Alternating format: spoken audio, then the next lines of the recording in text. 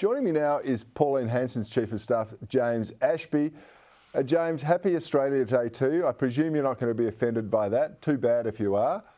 But uh, no. let me start no, with this news. There's a, there, yeah, sorry, mate. We'll, we'll get into it. I, I just want to get into this flag ban, and no, they haven't banned the Australian flag, much to the left's disappointment.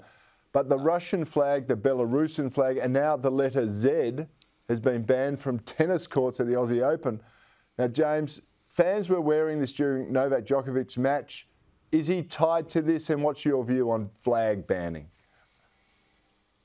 Oh, look, it's. Um I'm not a big fan of banning things, number one, especially at, uh, tournaments where you're up against various different countries. But there is a fine line, and I think when you've got a Russian flag with the face of Vladimir Putin uh, in the centre of it, I think that is designed to create some animosity between other fans that might be there representing another country and, and take objection to what uh, the Russians are doing. Uh, but uh, the big thing that I look at is Djokovic's uh, father should have been more sensible about whether he got his photo taken with this flag. I've seen politicians before have to deal with similar situations where someone will come up with FTP uh, written up against on their skin. And of course, most of us know what that means. And you just have to be sensible and say, no, no, no, I'm not getting my photo taken with you because it's going to spark some controversy. Obviously, I hate politics in any sport. I hate it when cricketers take the knee.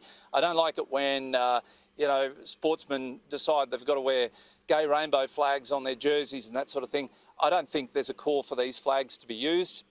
Anyone who's seen the footage would know very well they were inappropriate for this match.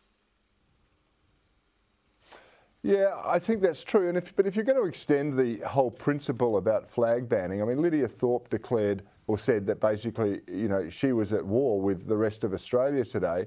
Should we ban the Aboriginal mm. flag as well? Well, of course not. Um, you, look, you, you can't take the stupidity of one woman and make out that she stands for every Aboriginal in, in, this country. Look, I believe we've only got one flag that represents Australians, and that is the flag that I fly in my house every single day of the year. The Aboriginal flag does not apply to me. It doesn't apply to Torres Strait Islanders. But to suggest banning the Aboriginal flag altogether because of the stupidity of uh, one senator from the Greens, no, I don't think that's appropriate either, Cory. Yeah. I agree with you. All right, there are calls for Aussies to get a vote on changing Australia Day. This is their next campaign. But do you think it could actually be a good thing because it would end the debate one way or another? Yeah, well, we all know there's a constitutional referendum coming up very shortly uh, to take the thermometer test or the litmus test to change the constitution on whether or not we introduce a voice to parliament. Perhaps we've got to ask a second question here, whether or not we want to officially register in our constitution a day for Australia, being Australia Day. And I think if they asked Australians at this upcoming referendum whether you support Australia Day on the 26th of January each year, I believe that you would get an overwhelming response of yes from Australians. It would then therefore be written into our constitution and could not be changed or debated each year. I'm thinking to myself today, thank God today is the last day we're going to have this debate, probably for another 330 days. You're exactly right. I like that idea too. So I look forward to Pauline putting that forward through the Parliament.